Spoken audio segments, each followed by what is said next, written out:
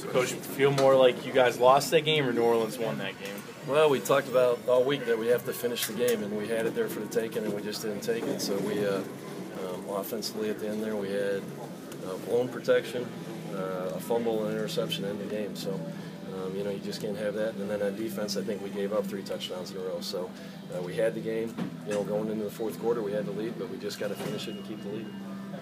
Now, Coach, even with the loss, still in the playoff hunt right now. You guys are tiebreakers. Does that come into your guys' play at all? Must-win games when it comes to playoffs. I mean, the bottom line right now is we got to just start winning games. You know, we're if you start worrying about all the tiebreakers and where everyone else is at, uh, bottom line is we have to get on a roll. We got to start playing better, and uh, you know, if we can get on a roll here, we got five games left. We have plenty of time to get into the playoffs. So uh, nothing's over.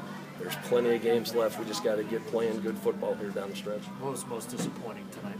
I think just at the end, just not finishing. We had a couple. We had a blown protection down there when we had to come down and score to keep the lead, um, and then they scored again, and then we had the fumble to get the lead back, um, and then they scored again after that. So, um, you know, in arena football, those possessions are so huge, especially at the end of the game. We just didn't do a good job in offense or defense.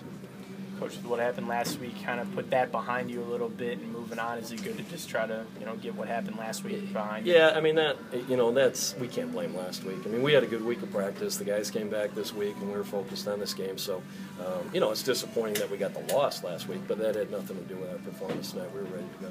Good to see Drew back out there. Yeah, it was good to see Drew back out there. So hopefully he can stay healthy the rest of the year.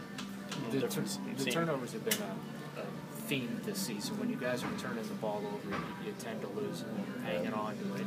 You don't. Could you just touch on? I mean, that just it's been it's been a theme from. Yeah, I mean that's that's that's you know any kind of football really, but in arena football we've actually done a good job in not turning the ball over. I mean I think in the league we're you know second or third least in turning the ball over, but the games we do it, it seems like we have multiple turnovers. You know we just don't have the one or two. We have two, three, four, and that's what beats us in a hole. No different seeing Kurt on the other side of the ball. Talk about his play tonight.